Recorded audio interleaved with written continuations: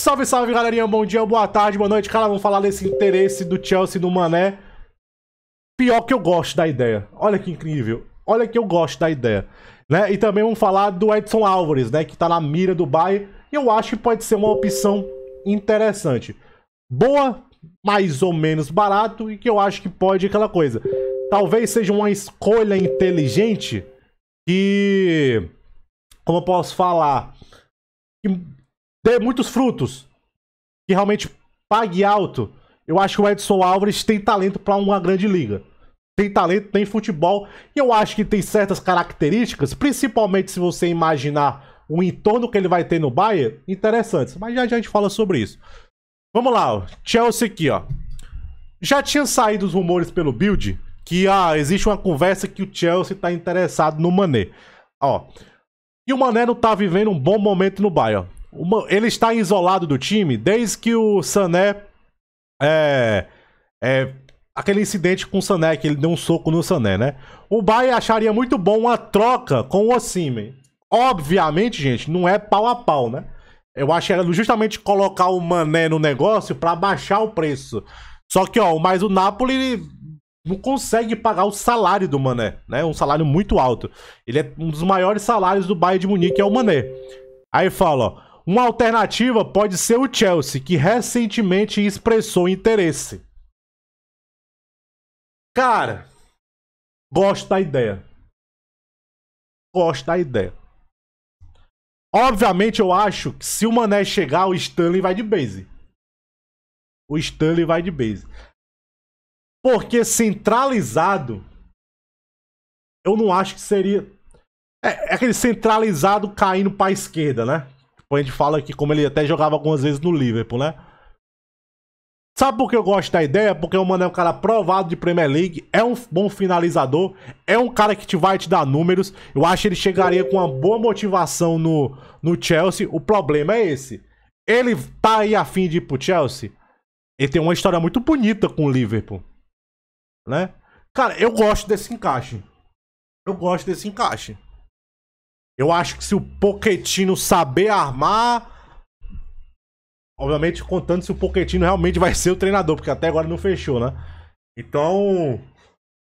Cara, pior que eu gosto dessa ideia, velho. Eu não acho coisa de lunático. O problema é o salário dele, o salário dele é alto.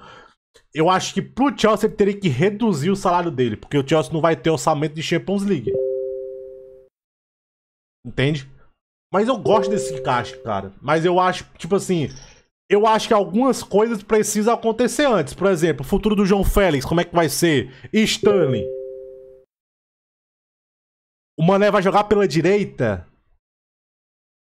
Eu gosto do Mané no Chelsea pelo que ele pode trazer. O que? Um finalizador. Um cara que já conhece a Premier League. É um cara que eu ainda não acho que é velho, acabado. 31 anos eu acho o Mané tem. Deixa eu ver.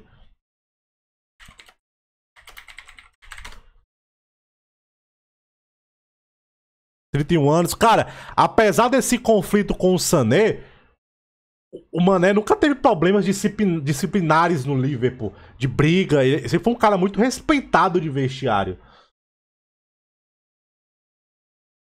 Eu gosto, cara. Pior que eu gosto desse encaixe. As características do Mané, cara, não vamos lembrar que na temporada que ele vai pro Bayern, ele é top 5 bola de ouro. É que esse cara desapre... em um ano ele desaprendeu. Eu acho que aquela lesão que tirou ele da Copa atrapalhou muito ele.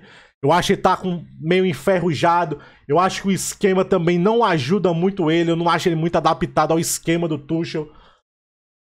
Talvez na mão de um Poquetino que gosta de um 4-2-3-1, de um 4-3-3 ali, mais ou menos não é diferente de como o Klopp jogava, mas muito mais próximo do que o Klopp jogava.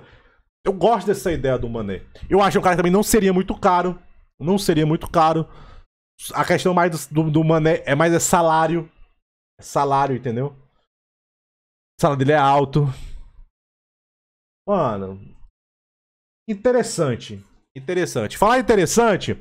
Quer ajudar o canal? Quer fortalecer o canal? Goste do canal? Seja membro. Eu quero investir no canal, então a única forma que você pode me ajudar é sendo membro. Tem a opção aí pelo YouTube, seja membro, e também tem a opção via Pix, tem um vídeo explicando aí valores anuais, tá? Assim você fortalece o canal e dá acesso ao grupo exclusivo lá no Telegram. O grupo lá tá cada dia melhor e também há mais de 15 vídeos exclusivos para os membros, belezinha? Quer ajudar o canal, quer fortalecer o canal, seja membro, belezinha? Vamos lá, cara! E também segundo aqui o Autobelly, o Bahia tem o meio-campo defensivo Edson Álvares, de 25 anos, na lista para meio-campos. O mexicano está sob contrato até o Ajax 2025. Ou seja, dois anos de contrato, ainda dá para puxar uma grana legal. Vamos lá. O Edson Álvares, ele é um primeiro volante, ele é um cara que eu acho que ele funciona muito bem no 4-2-3-1, né? Quando jogava ele ali com o Ten Hag, ele, primeiro volante, o Gravenberch de segundo volante, né? Já tem ali. Era uma dupla, era um meio-campo extremamente dominante na Eredivisie, extremamente dominante.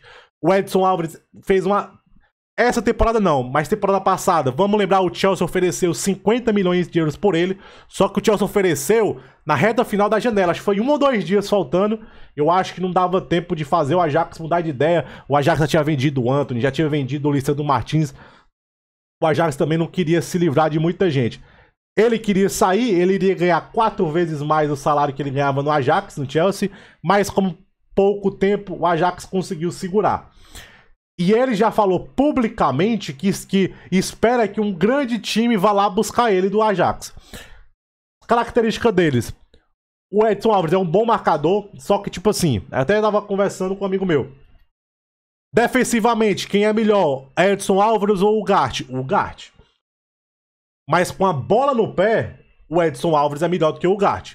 O Edson é o cara que conhece saída de bola, sabe se movimentar, sabe fazer aquele primeiro volante que faz aquele track. É, a bola tá pela esquerda, ele chega junto. Ele é o cara que tá sempre muito bem posicionado. Defensivamente, ele é bom. Vamos lembrar, nessa temporada ele jogou de zagueiro. Ele foi improvisado de zagueiro ali. Fez partidas ok, fez partidas mais ou menos. É porque primeiro volante é uma coisa, zagueiro é outra. Mas ele jogou de zagueiro. Ele é um volante equilibrado. Eu acho que em termos de teto, de teto. Eu não, ele é um bom jogador. Eu talvez ele tenha um nívelzinho ali a mais. Eu não acho que o teto dele seja de um jogador absurdo. Por exemplo, saiu umas especulações dele do Casemiro. Eu não acho que ele tem o teto do Casemiro. Não acho mesmo. Ele é um jogador bom. Jogador ok. Eu acho ele aquele tipo de jogador. Ele é o tipo de jogador que, quando se você contratar ele, vai permitir do Kimmich sair um pouco mais.